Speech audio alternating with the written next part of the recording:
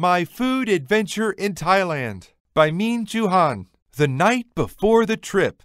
My dream is to become a cook. Tomorrow, I am going to visit Thailand with my cousin and learn about Thai food. I am very excited about this trip.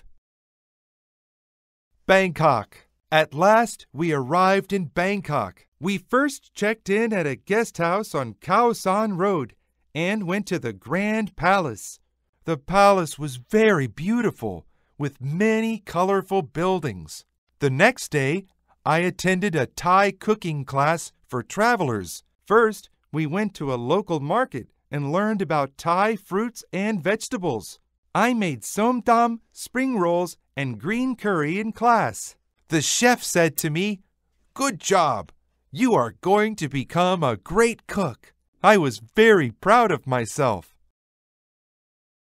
Chiang Mai. After a long bus ride from Bangkok, we arrived in Chiang Mai. Chiang Mai is an exciting city with lots of fun activities. During the day, we went hiking and visited hill tribes.